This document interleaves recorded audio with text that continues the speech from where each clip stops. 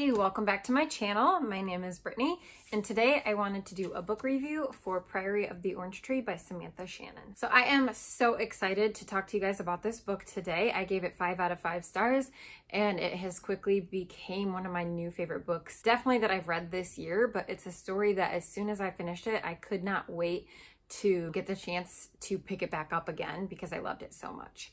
So we'll start with what it's about. So the Priory of the Orange Tree deals with conflicts that are happening between the East, the West, and the South. We're following one of our main characters, Tane is how I say her name. I'm not sure if I'm saying that correctly or not. She has been training her whole entire life to become a dragon rider for the Draconic Navy. So we get a, a glimpse of her story. Then we're following Ead, and once again, I have no idea if that's how you say her name correctly or not. That's just what I said. Ead is from the west, and we are following the journey that she's going on in Ascalon and in the palace. So she was actually sent there by the prioress to protect the queen at all costs. This is because it's legend that if the Berethnet line ceases to exist, then the nameless one will return. So we're following Ead's story as she tries to move up the ranks to get closer to the queen within the palace so that she can ensure her safety. So I would say we do sort of follow some other characters, but those are our main two that we focus on. I would say one thing that I've seen is a misconception, and that is people get disappointed because, like I said, Tane from the East, she has been training to become a dragon rider. And at the beginning, it's not a spoiler, she's trying to get inducted. And it's almost like it makes you feel like you're going to get to go to Dragon Rider School with her and see all the events that take place there. So just know going in, that's not a part of this book. That's not what happens. We don't see any of that. So don't be let down by that. Just know going into it that you're not going to see that. I saw like the glimpse and I thought, oh, that would be cool if we did, but I wasn't disappointed. I definitely felt fulfilled anyways without having that portion of the story. So basically a good majority of this book takes place in the West and one of the other things I've heard is that people were disappointed because they wanted more from the East, which is where the dragon riding takes place. But I really found that the side following the West was very, very interesting. And if you fully invest your time in getting to know the characters and the palace and the politics, then there's plenty to be interested in as you're following the events that take place in the West. So as far as following the stories set in the West, I will say the plot is very slow going in my opinion.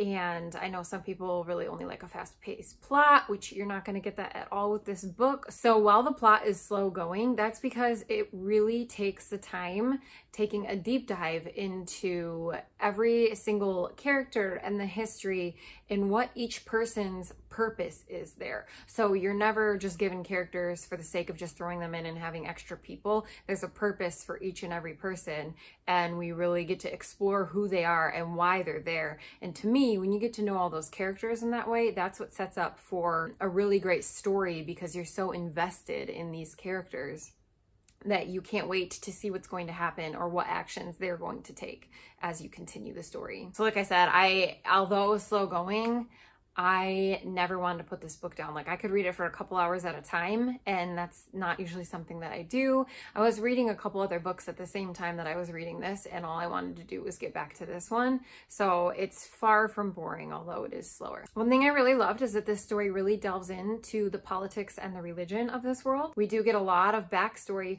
for the religions that the characters follow in the different areas and why those beliefs are followed now and how they were put into place. And going along with that, we learn how certain rulers came into power that way. And all of that was fascinating to me and just really focuses on how everything works within the kingdoms and the lands and how everything is divided. You get a really good look at why it all works the way that it does. The aspect that I loved about this with the religion is there's conflict between the two lands because they have their own religions and it, the people from each land just sort of they're so firm in their opinions of their religion because that's what they were brought up and they were told and they've nobody's ever questioned anything and they just follow it because that's what they're supposed to do and so you see a lot of character growth towards the end because people are able to start questioning things and maybe listening to people from the outside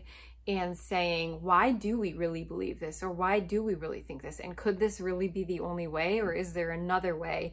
And can we be more accepting of people that don't believe the way that we do and don't have the same beliefs? So I just adored that whole discussion about religion. I thought it was fantastic the way that it was done. So I'm guessing that might be why a lot of people thought it was slow because it's more looking back into time and seeing where things came from and learning why things are the way that they are now. Because in order to enjoy this book and enjoy the events that take place and care about what's happening, you have to have that understanding and know the importance of what has taken place in the past. Otherwise, what's happening now wouldn't matter at all. One thing that I really loved is that the author didn't dump everything on you at once. So while you were reading it from the beginning, you thought you had this this feeling of like, okay, I really want to know more because I don't quite totally understand what's going on.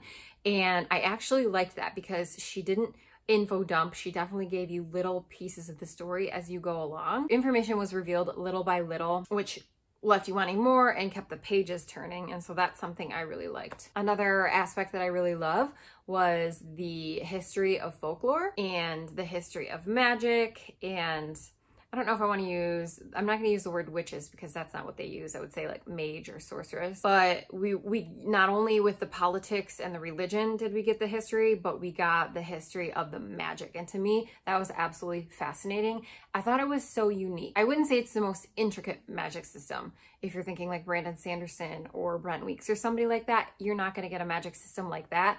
However, the way that the magic came to be, is almost like a folklore fairy tale type of way and that was really really fascinating and I loved that aspect of the book. And along with that that's kind of how we learn where the dragons come into the story and where they originated from. Within this world people greatly fear myths and legends in magic so that's a big part of the story. And touching on the magic again, I really appreciated that the magic was limited in this book, meaning if you had magic, you weren't just all powerful. You couldn't snap your fingers and get everything you wanted.